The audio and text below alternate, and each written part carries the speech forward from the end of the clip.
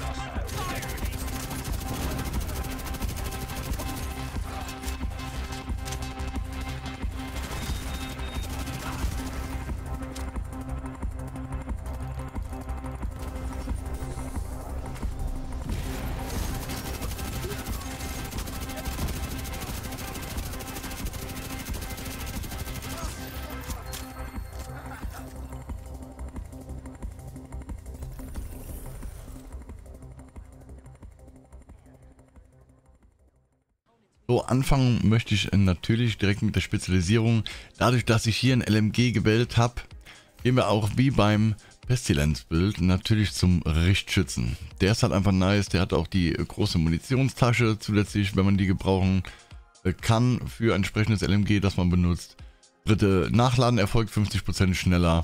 Töten von feinen Gebärdrüstung und es gibt äh, Muni für die ganze, für die gesamte Party und nach einem Kill erhöht sich die Schussfrequenz. Es ist einfach ein eine richtig geile Spezialisierung. Außerdem kriegt man den Banshee Puls. Wenn man den mag, den spiele ich ja auch mit dabei. Könnte natürlich auch eine andere Fähigkeit nehmen, aber ich finde ihn einfach mega, weil er sehr, sehr cool ist, um ja, Gegner vom Leib zu halten.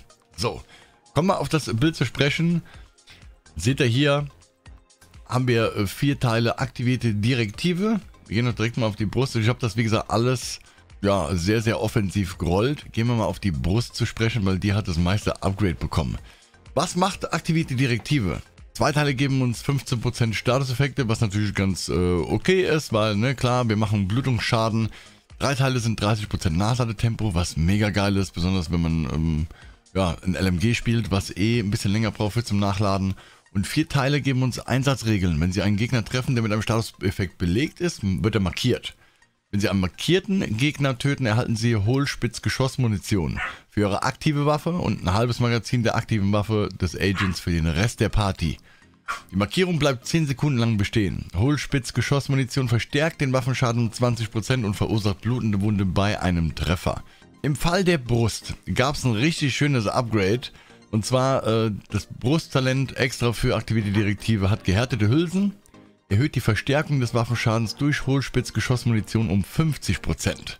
Dieser Bonus wird nicht an Partymitglieder weitergegeben, der ist also nur für euch. Aber der reicht aus in Verbindung mit dem ähm, Sadist-Talent, das äh, auch noch geupdatet wurde, dass das Ganze richtig derb reinfetzt. Ich zeige euch kurz die anderen Teile noch, dass ihr seht, was ich da drauf gewürfelt habe.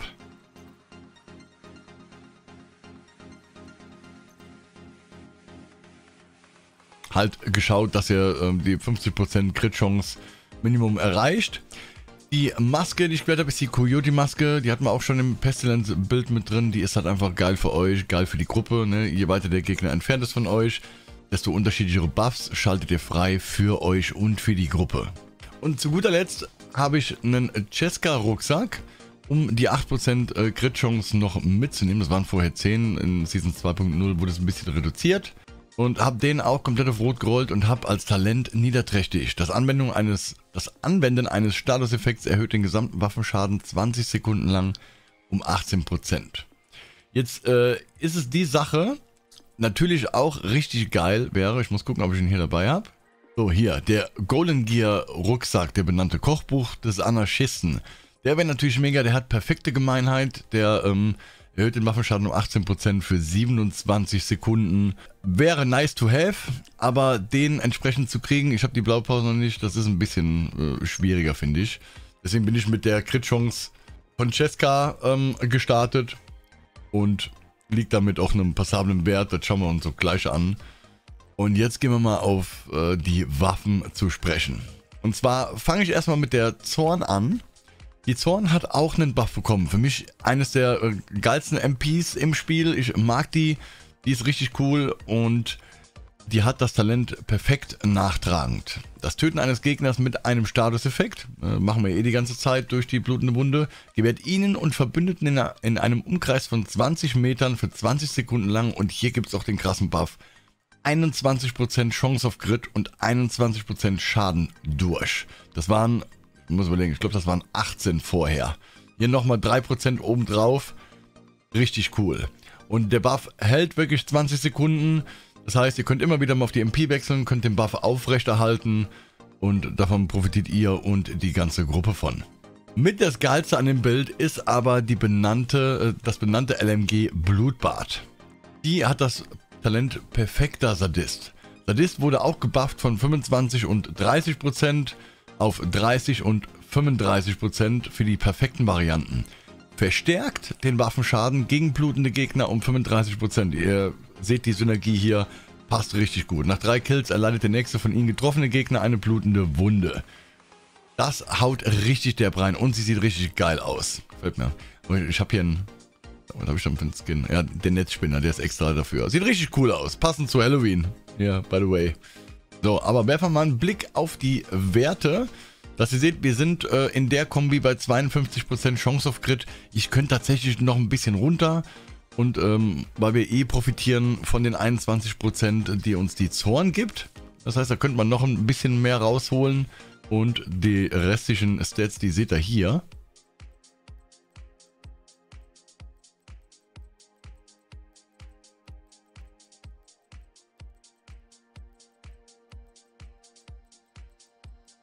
Dann gehen wir mal runter zum Schießstand und da zeige ich euch das Ganze da unten nochmal. So, ich mal wieder sehr schwer, ich dürfte von eben noch, ja. Alle beide Waffen haben noch Blutungsmunition äh, drin. Fangen wir mit der Zorn an. Der gibt uns dann unten den Buff. Wie ihr seht, wir haben jetzt äh, Gemeinheit drauf. Und haben den Buff von der Zorn. Das heißt, mehr Crit-Schaden, mehr Crit-Damage. Und dann können wir schön mit der Blutbad ein richtiges Gemetzel veranstalten.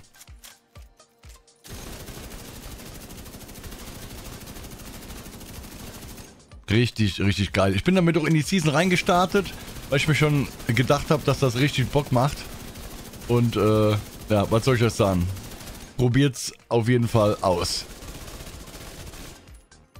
So, Waffenwahl halt, wie gesagt, wenn ihr die Sadist nicht habt oder wenn ihr ähm, eine andere Waffe spielen wollt, Sturmgewehr oder whatever, überhaupt kein Problem. Einfach rein, Sadist draufklatschen und äh, ihr seid auf der sicheren Seite. So, und das war's von mir, Leute. Ich sage vielen lieben Dank fürs Zuschauen. Ich würde sagen, wir sehen uns im nächsten Video, wenn ihr Lust habt und macht's gut. Bis dahin. Bye.